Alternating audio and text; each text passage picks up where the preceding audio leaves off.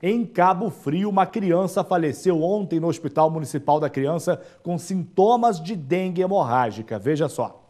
João Gabriel, de apenas um ano e seis meses de idade, deu entrada no Hospital da Criança em Cabo Frio no início da tarde da última terça-feira, mas não resistiu às complicações do que, a princípio, seria uma dengue hemorrágica e faleceu na tarde de quarta-feira em menos de 24 horas. Por volta de 5, 6 horas, o caso dele começou a agravar. A gente começou a ver que ele estava evoluindo para uma dengue hemorrágica. A princípio, dengue hemorrágica. E como se trata uma dengue? Como se trata vírus? Qualquer tipo de dengue é tratada com hidratação. E a gente vai diminuindo os sintomas.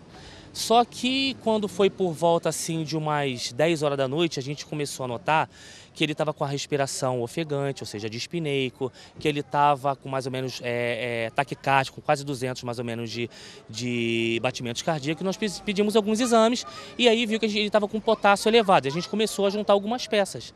Foi quando a gente fez todo o aparato dele, viu a gravidade dele, tinha muito exantema, que é típico de dengue hemorrágica. E aí começou aquela via cruz, precisamos salvar essa criança porque ele está tendo um quadro de piora.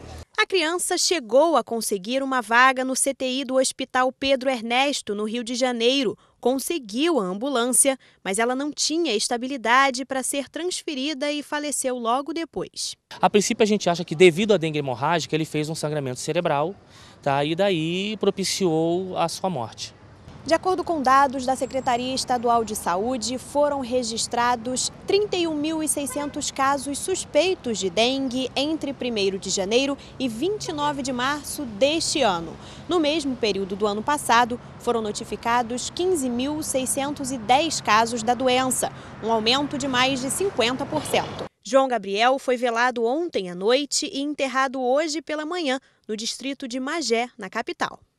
Nossa, olha, muito triste isso. A nossa equipe conseguiu falar com o pai da criança por telefone e ele nos contou o seguinte, que diferentemente do divulgado em diversos veículos de comunicação, o atendimento no hospital da criança foi feito de maneira adequada, mas que infelizmente por conta da gravidade do estado de saúde do filho, mesmo com ambulância disponível e vaga no Hospital Pedro Ernesto no Rio de Janeiro, a transferência não pôde acontecer.